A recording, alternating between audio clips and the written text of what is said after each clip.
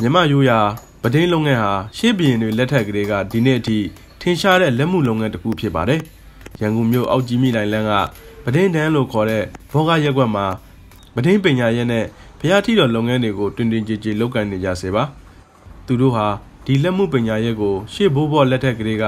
လက်ဆင့်ကမ်းလုပ်ကိုင်လာကြသူတွေဖြစ်ပါတယ်။အရင်ကတော့တန်တော့ကြီးတွေကိုအခြေခံပြီးပြုလုပ်ခဲ့ကြတာပါ။ကြီးကိုအသုံးပြုတဲ့အခါမှာ ပစ္စည်းတုပ်ပြီးလေလုံတဲ့မြေအောက်ခန်းထဲမှာအချောက်ခံရသလိုဒီအဆင့်တွေပြီးမှသာရွှေရှားတဲ့အဆင့်ကိုလုပ်ရပါတယ်။ဒါပေမဲ့2004ခုနှစ်နောက်ပိုင်းမှာတော့ကြီးပြားတွေနေရာမှာတရုတ်နိုင်ငံကတင်သွင်းလာတဲ့ရွှေရောင်စီးပြားတွေကအစားထိုးအသုံးပြုလာကြပါတယ်။ဒီရွှေရောင်စီးပြားဟာတန်ချင်းမတက်သလိုရေရှည်ခံတာကြောင့်မှာယူသူတွေကစီးပြားနဲ့ပြုလုပ်တဲ့ထီးတော်တွေကိုအဓိကမှာယူတာတွေ့ရတယ်လို့ဗဒင်းလုံးငယ်ရှင်မအီငေပြုံးကပြောပါတယ်။။ ဒီအားကျတော့အဓိကကျွန်တော်တို့စတီးပြားနဲ့လောက်တာပေါ့နော်။စတီးကိုအဓိကထားပြီးလောက်တာဆိုတော့တန်ကြီးမကဘူးပြရေးရှိခံတယ်။ဒီမှာလူမျိုးဖြစ်တဲ့အတွက်ကြောင့်မလို့ဒီဖျားတီးလုပ်ငန်းကတော့မတိမ်ဘောပေါ့နော်။အများနဲ့ရေးရှိတော့လောက်ရပါတယ်ဟုတ်။အဲအရင်ကကျတော့ကျွန်တော်တို့ကြီးနဲ့လုပ်တယ်ပေါ့။ကြီးနဲ့လုပ်တယ်တန်နဲ့လုပ်တယ်ပေါ့နော်။ဟိုပေါ်မှာဆိုရှင်ကတန်နဲ့လုပ်ထားတဲ့ဟာလေးရှိတယ်။ဒါပေမဲ့အခုနောက်ပိုင်းကတော့ခေတ်ကပြောင်းလာတဲ့ညကျွန်တော်တို့ဒီစတီးက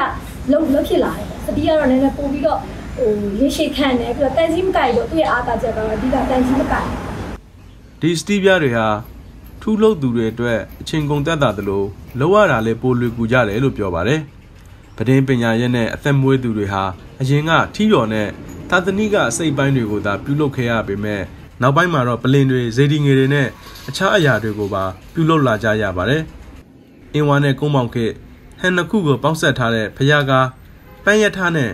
ကရဝိတ်စတဲ့လက်ရတွေဆိုရင်ရှင်ပြုနာသအလူမင်္ဂလာပွဲတွေမှာပို့ပြီး တစားဆင်လာကြတာဖြစ်ပါတယ်။ကိုဗစ် -19 ကရောဂါကူးစက်ပြန်ပွားခဲ့တဲ့အချိန်နှစ်နှစ်ကျော်ကာလမှာတော့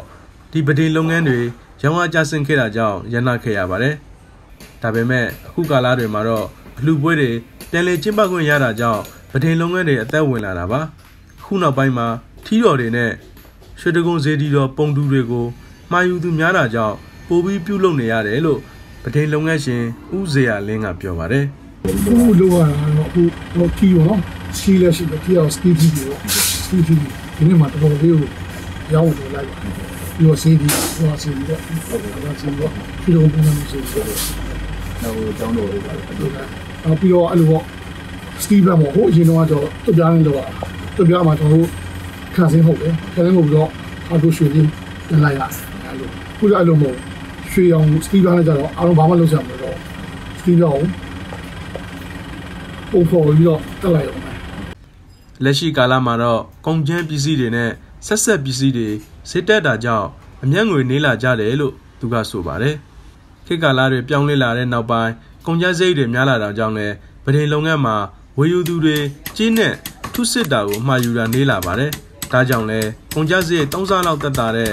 စတီကိုပြောင်းလဲအသုံးပြုလာကြတာလည်းဖြစ်ပါတယ်။ ကြီးအစ်စ်နဲ့ပြုလုပ်တာဟာပိုပြီးလက်ဝင်တယ်လို့ဗဒင်လုပ်ငန်းရှင်ဒေါ်အေးအေးခိုင်ကပြောပါတယ်။ကျွန်တော်ကြီးနဲ့ထုမယ်ဆိုရင်လည်းကြီးနဲ့ဒီပန်းသားထုတယ်ပေါ့နော်ပန်းသားထုတယ်ပြီးရင် frame ဆင်ပြီးတော့ပန်းကတ်တယ်ပေါ့နော်ထီးပုံစံပြောင်းလို့အချိုးစားကြအောင်လို့လုပ်တယ်ပြီးတော့မှစစ်စီးတုပ်ရတယ်ရွှေချမယ်ဆိုရင်စစ်စီးတုပ်ရတယ်စစ်စီးရတယ် တကယ်ဟိုအပြည့်တုပ်မယ်ဆိုရင်၃ရက်အပြည့်လုံးဝတုပ်ရတယ်တရေတုပ်ပြီးသွားလို့ရှိရင်မြေတိုက်တဲ့မြေတိုက်ဆိုတာချရတယ်မြေတိုက်ချပြီးတော့မှစစ်စီးတရေတုပ်တယ်အိတ်သွားပြီးဆိုတော့မှနောက်တရေထပ်တုပ်တယ်ပြီးတော့မှအိတ်သွားဆိုတော့နောက်တရေထပ်တုပ်တယ်၃ရက်ပြည့်အောင်တုပ်တော့မှသူကဟိုရွှေရည်လည်းကောင်းတယ်ပေါ့နော်ကြာကြာလည်းခံတယ်စတီနဲ့ပြုလုပ်တာဟာ9နှစ်ကနေ10နှစ်အထိရွှေရောင်အထားခံနိုင်ပြီးသစ်စီတုပ်ပြီးရွှေချတာကမိုးတယ်လေတယ်ကြောင့်3နှစ်ကျော်လာခံနိုင်တယ်လို့သူကပြောပါတယ်ဒီပဒင်ပညာရဲ့ဟာ အကြီးနဲ့ဘီတုကပညာရဲ့တွေနဲ့ပါဆက်နွယ်နေပြီးဖျားဇေဒီအထိုးတွေမှာအသုံးပြုတဲ့ထီတော်ဖျားထောင်ဖျားဆွဲရွှေပြားတကွန်တိုင်တကွန်လုံးဟင်းသာရုပ်ငကားရုပ်တွေနဲ့တစောင်းပြတ်သက်တွေမှာထုစစ်တဲ့ပညာရဲ့ဖြစ်ပါတယ်